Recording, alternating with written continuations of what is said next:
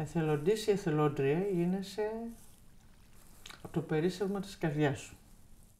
Έγινα εθελόντρια επειδή ήθελα να βοηθάω όπου μπορώ, όποτε μπορώ και όπως μπορώ.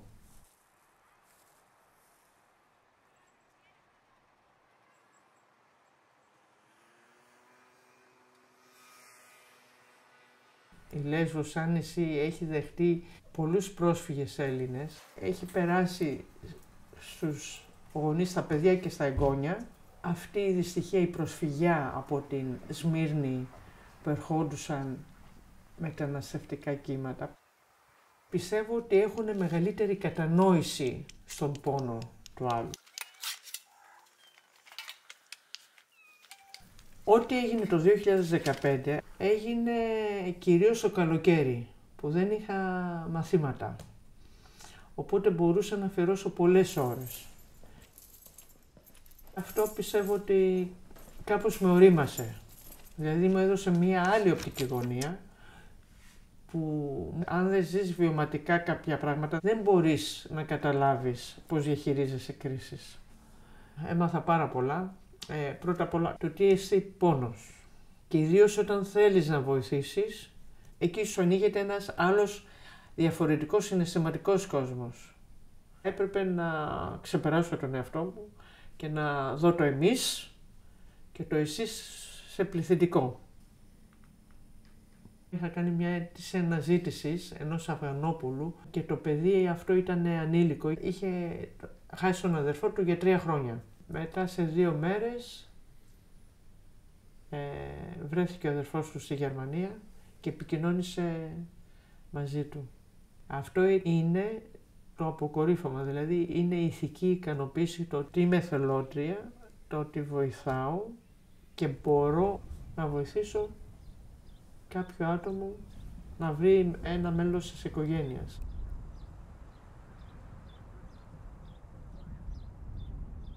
Έγινα εθελόντρια πριν 10 χρόνια. Έκανα την αγάπη μου δράση. Την αγάπη για το συνάνθρωπο την έκανα δράση μετά. Και ο Ερυθρός Σταυρός με βοήθησε να, να πλατείνω τη δράση μου σε διάφορους τομείς, είτε στην τοπική κοινωνία, είτε στους ε, μετανάστες.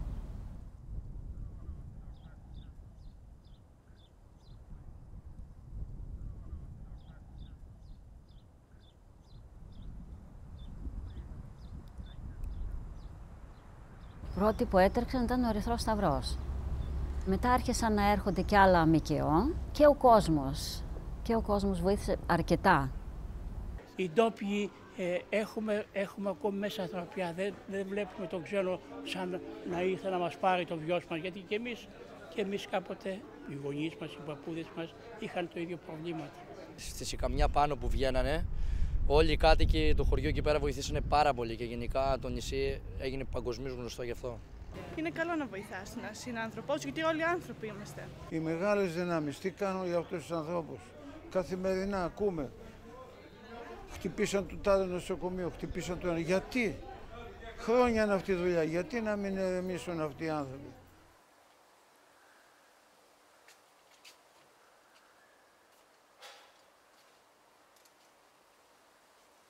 Επειδή τυχαίνει το σπίτι μου να είναι εδώ, κοντά στο άγαλμα, έμεναν εδώ μέσα στο δάσος και εδώ δίπλα μας και όλο, όλη εδώ την περιοχή. Γινόταν οι αναζητήσεις και βρίσκαμε άτομα και τα φέρναμε κοντά.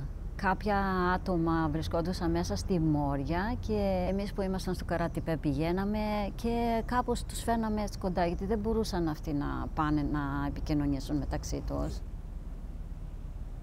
Μέσα στο Καράτεπέ είχαμε πάει να δώσουμε κάποια ρούχα ε, κάποιο επειδή λέει, θέλω να δω τον αδερφό μου. Τον πήρανε ε, στη Μόρια. Εμένα με έφεραν εδώ γιατί είμαι με την οικογένειά μου. Ε, και μετά από δύο ώρες ήρθε κάποιο παιδί από τη Μόρια με τα πόδια, ήταν μόνος του και ζητούσε και ήρθε σε μας κοντά, λέει έχασα τον αδερφό μου, μήπως ξέρετε καθόλου αν βρίσκεται εδώ ένας παντρεμένος με δυο παιδιά, κορίτσια, το όνομά του είναι τάδε και εμείς λέμε εδώ, σε ζητούσε, σε αυτό. Πήγαμε, τρέξαμε, τον ε, φωνάξαμε, ήρθαν, αγκαλιάστηκαν, πήραμε φωτογραφίες, όλα αυτά. Ήταν πάρα πολύ ευχάριστο αυτό. Με το να βοηθώ αυτά τα άτομα, είτε να πάρουν τηλέφωνο στους δικούς τους ε, που ήρθαν εδώ ή δεν είχαν δικό τους τηλέφωνο και τους βοηθούσαμε να πάρουν τηλέφωνο και έβλεπες τη χαρά, το κλάμα, έκλεγαν και ακόμα αγόρια έκλεγαν και άντρες έκλεγαν την ώρα που έπαιρναν τηλέφωνο. Αυτό λες τώρα, είναι μεγάλο αυτό που προσφέρω. Με την Κατηρίνα ήμασταν μαζί. Κανονίζαμε μεταξύ μας πότε θα πάμε σε αυτή τη δραστηριότητα και πότε δεν θα πάμε. Ε, σε αυτή τη δραστηριότητα συγκεκριμένα ζήσαμε στιγμές δυνατές και στενάχωρες και ευχάριστες. Έγινε ένα ναυάγιο και ένα παιδί περίπου 20 χρονών έχασε πέντε μέλη από την οικογένειά του. Τη μητέρα του, την αδερφή του, τον άντρα της αδερφής του και, και τα νύψια. Τεσσάρο και έξι χρονών κάπου εκεί. Και ήταν πάρα πολύ άσχημη κατάσταση. Αυτό το παιδί ήταν στο νοσοκομείο και εμείς καλεστήκαμε να πάρει τηλέφωνα, να πει ότι έχασα όλη μου την οικογένεια. Έμενε τελείως μόνος του. Ε, ταυτόχρονα, για να δείτε ποια αντίθεση υπήρχε, ξαφνικά συνειδητοποιώ ότι ο φίλος του παιδιού που έχασε την οικογένεια μιλούσε με τη μητέρα του και της έλεγε ότι ξέ, ξέρεις είμαι ζωντανός, είμαι στο νοσοκομείο, είμαι ζωντανός. Και ξαφνικά γυρίσω το κεφάλι μου και βλέπω το άλλο το παιδί να είναι ακουμπισμένο στον νόμο ενός άλλου ατόμου και να κλαίει με λιγμούς. Εκείνη την ώρα δεν είχαμε συνειδητοποιήσει ότι είχε χάσει όλη την οικογένεια. Αυτή η εικόνα θα μου μείνει για το, το ένα το παιδί να έχει το τηλέφωνο και να μιλάει στη μητέρα, ενώ το άλλο το παιδί είχε χάσει τους, τους, τους πάντες, μόνος και πήρε, πήρε τους συγγενείς στην Σουηδία.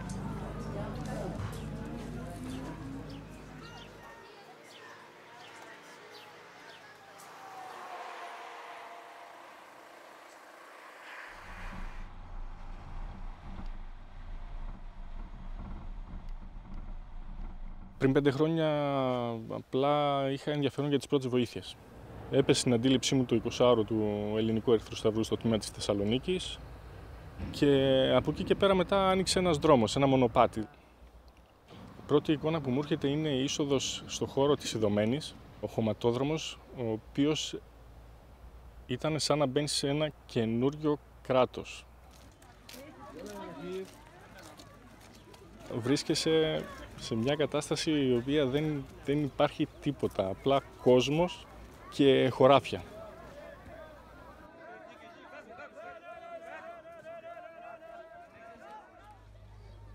Την πρώτη φορά που ήρθα στην Ιδωμένη ε, θυμάμαι χαρακτηριστικά τα χωράφια και κόσμος ο οποίος προσπαθούσε να, να καλυφθεί από τον ήλιο. Ήταν εξουθενωμένος από το ταξίδι που έκανε από τη Λέσβο συνειδωμένη έτσι όπως το έζησα εγώ, ο κόσμος ο οποίος έμπαινε στη Λέσβο φανταζόταν ότι ο Γολγοθάς τελείωσε. Κάτι το οποίο μέχρι να φτάσουν στην Ιδωμένη θα τους άλλαζε πάρα πολύ τη ζωή. Έτυχε να συναντήσω κόσμο τον οποίο τον πρωτοσυνάντησα στη Λέσβο έπειτα από δύο εβδομάδες στα κάμπ του, του Νέου Κιλικής και στην Ιδωμένη οι οποίοι ήταν πάρα πολύ κουρασμένοι και ταλαιπωρημένοι.